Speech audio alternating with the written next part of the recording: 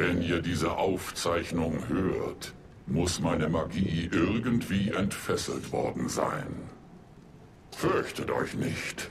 Alle Dinge finden ein Ende. Selbst Perfektion scheitert irgendwann am unerbittlichen Widerstand der Normalität. Das Universum war einmal die perfekte Leere. Völlige, zeitlose Dunkelheit, die alles andere übertraf. Doch schon aufgrund ihrer Natur ist Perfektion gefährdet. Es brauchte nur ein winziges Fünkchen, um das Nichts des Raums aufzubrechen. Zweifellos ist mir dasselbe zugestoßen. Als ich vor langer Zeit starb, da trug man doch Feigenblätter. Das ist kein Scherz. Ich bin sehr stolz auf all meine posthumen Leistungen. Die Götter zu gebären war vermutlich ein Fehler. Die Eitelkeit der Jugend. Doch Kralkatorik war mein erstes Meisterwerk.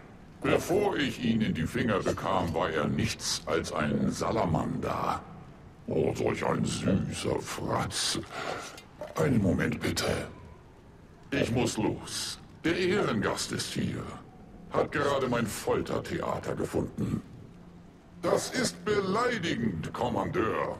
Ich lade euch zur größten Schlacht ein, die die Welt je gesehen hat. Und ihr kreuzt hier mit einem dümmlichen Norn auf. Ihr scheint euch ja überhaupt keine Mühe zu geben. Oh, ich weiß. Bald schon ist es jedoch meine Gefolgschaft. Ich hoffe, ihr fühlt euch wie zu Hause. Ich habe so viel Zeit mit den Vorbereitungen verbracht. Endlich ein Grund, das gute Geschirr herauszuholen. Genug der Warterei. Joko langweilt sich. Legen wir einen Gang zu. Ah, Mist. Habe ich das etwa angelassen? Schlamperei, Joko. Schlamperei. Fortsetzung folgt. Ich meine, falls ich diesen Aufstand überlebe.